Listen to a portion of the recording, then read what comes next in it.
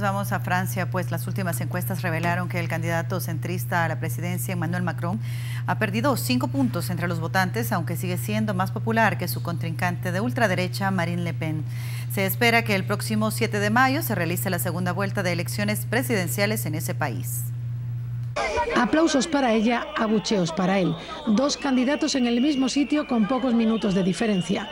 La confrontación en la fábrica de Whirlpool de Amiens marca un punto de inflexión. Mientras Macron se reunía con los sindicatos de la empresa, Marine Le Pen le contraprogramó y se presentó allí. Entre selfies y felicitaciones, dijo a los huelguistas que evitará el traslado de la fábrica a Polonia y la pérdida de 300 empleos. Pillado a contrapié, el candidato socioliberal y exministro de Economía entró al trapo y bajó al terreno para él hostil. Entre pitos y abucheos, logró advertir a los huelguistas de que con Francia fuera de Europa como quiere Le Pen, esa fábrica cerrará y muchas más. La sorpresa es ya un elemento de campaña.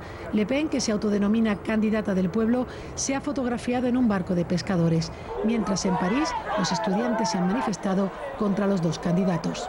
Según un sondeo, la popularidad de Marine Le Pen sube y la de Macron baja, lo que indica que el candidato socioliberal no puede contentarse con el voto anti-Le Pen y tiene que movilizar a los indecisos. Su aliado, el centrista François Bayrou, advierte de que el voto en blanco o la abstención favorecerán a la extrema derecha y asegura que los franceses tienen que elegir o lo imperfecto o lo peor.